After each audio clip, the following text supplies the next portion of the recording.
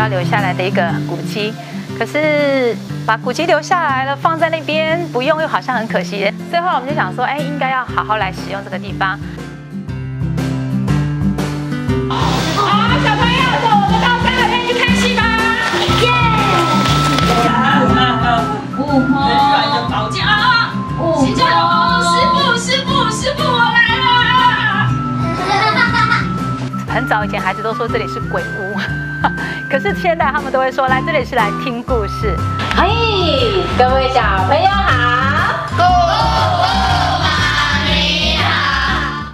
这位肢体语言丰富、故事讲得精彩的是小朋友最爱的故事妈妈。鬼没有撞面了啊！真是太好了，兄弟们。听完故事，小朋友的兴致来了，开始动手写剧本。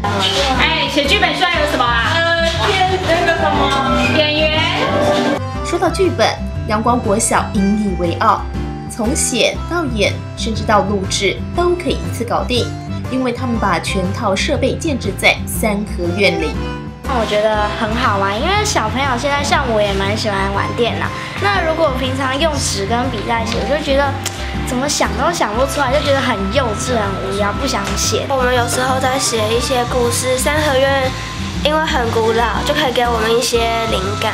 传统我们在演戏的时候，不是都要做布景吗？然后做布景的时候都要画画很久啊，而且要做到这么大张，是不是也很辛苦？于是我们就想说结合数位科技，例如说我现在我演戏的场景是在三合院，哎，我就放出我三合院的图片，我想，哎，我走进三合院去看戏哦。三合院的课程，他把三合院重新赋予它的新生命，变成是戏剧馆。孩子来这里听故事，孩子来这里写故事，孩子来这里演故事。立秋、处暑、白露、秋分。问节气，大多说不上来。但阳光国小的小朋友不仅可以把二十四个节气倒背如流，还可以融会贯通。大家好，我是代表大暑的节气神。虽然呢，我长得非常的有一点粗犷，不过呢，我是一个心地善良，而且非常幽默的节气神。先了解节气，再编脚本、缝布偶，不假他人之手，全部自己操刀。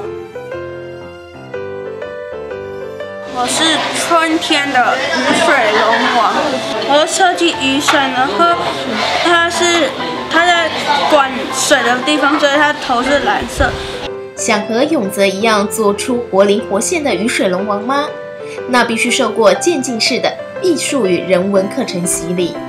艺术与人文课就是九年一贯开始，他把美劳课还有音乐课结合在一起，然后加上表演艺术。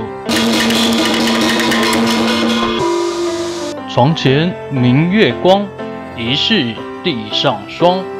小朋友的注意力全在布偶身上，因为他是这一堂课的授课老师。快走！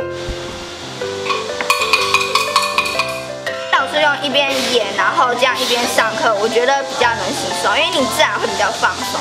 上了两年，觉得非常的好玩，所以还蛮喜欢上小课的。我们阳光国小是没有买艺术人文课本的，每次上完艺术人文课都会做记录，所以他一个学期下了就完整的记录一个学期的课程，就变成了他的课本。老祖先的智慧，节气的元素，没有课本，没有框架，这是阳光国小的独特教法。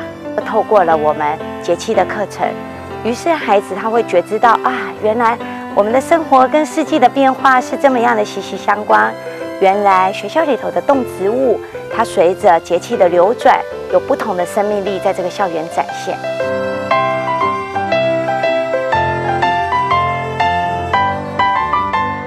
地注入情感，多元丰富课程激发学生想象力，快乐成长，愉快学习。每个小朋友纯真无邪的笑容，就如同校名一样，正面迎向阳光，乐观迎接未来。